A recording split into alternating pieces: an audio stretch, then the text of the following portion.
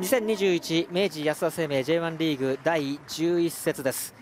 轟陸上競技場から川崎フロンターレとセレッソ大阪が激突します。さて今シーズンから VAR が導入されます、まあ、シーズン通して導入されます。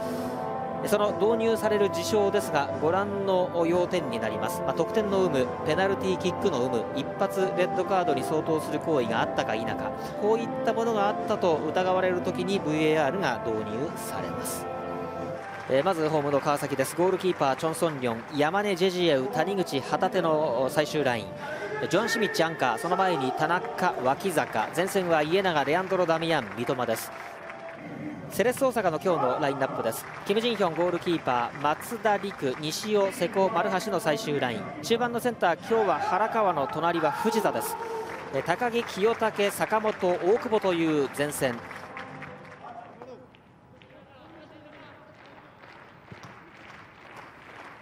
背負ってますがちょっとこれはボールロスト三笘ちょっと時間を作って大久保のパスです。さあ右からの仕掛け。大久保はシュートがあります。打ちました！なんと始まってたったの4分！轟に帰ってきた大久保嘉人。アウェーティームのストライカーとしてセレッソ大阪に先制のゴールをもたらしました。やっぱり前へ前への意識がやっぱり出てるんですね。やっぱシュートを打とうという選択がまずありますもんね素晴らしいゴール。今日が J1450 試合目節目の大久保嘉人節目のゴールでなんと古巣相手の先制ゴールです。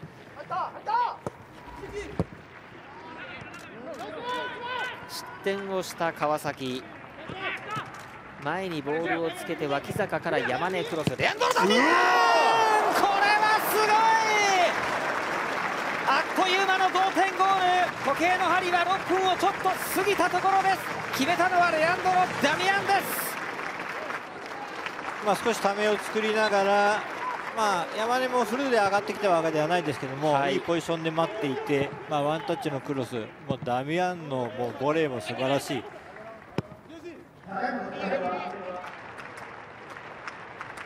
お高木が狙ってきました。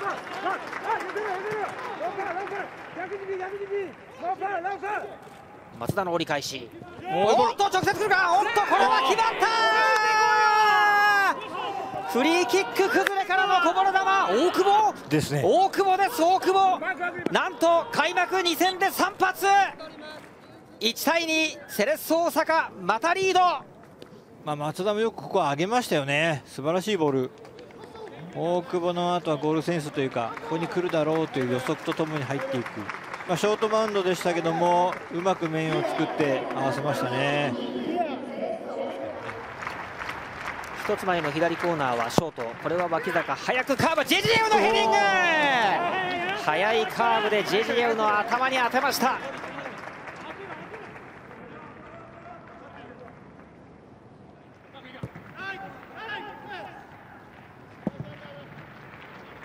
谷口で距離を変えます。全体を広げました川崎。右足パスにしました。田中を折り返してレアドル・ダミア谷口の大きなサイドチェンジから崩しました川崎。最後仕上げたのはこれまた今日2ゴールのレアンドロ・ダミアン。2対2 47分レアンドロ・ダミアン。アシストはまたしても山根。2対2同点です。川崎は塚川を呼びました。三笘ダブルタッチ。おおチャンス三笘が来た。三笘だ今度はレアンドロ・ダミアンがアシスト。2020年のフットボーラー・オブ・ザ・イヤー。三笘薫。今シーズンこの轟での2戦目。を決めました。3対2川崎逆転です。まあ、1回プレーが止まったように感じますけどもやっぱり相手が見えてるのでこの狭い隙間を通すこれ何回もやってますよね、まあ、彼の才能が存分に生かされたゴールシーンじゃないですかね。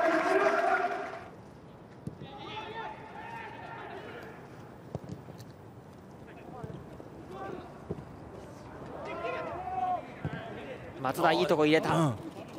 セカンドボール大久保が打つ。ナイスキーパー。ナイスコースナイスキーパー。大久保とこのチョンソンリョン。シュートのコースもチョン・ソンリョンのセーブも素晴らしかったですね。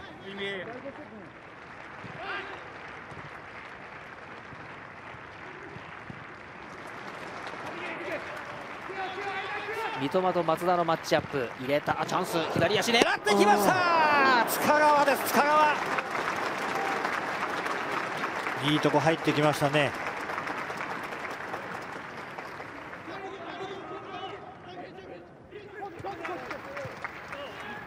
田中。オンサイド。さあ三笘。田中が内側を追い越した。三笘が打った。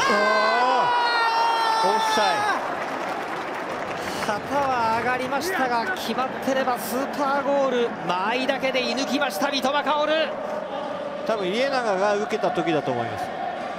そこで、まあ、オフサイドデリを取っていて、まあ、最終的にこの決まった時に上げたというそういう判断だと思いますよ。はい。おおおチャンス。小林が打ちました追加点ならず。点の取り合いになりましたが大久保が2点取ったセレッソを川崎が逆転で下して3対2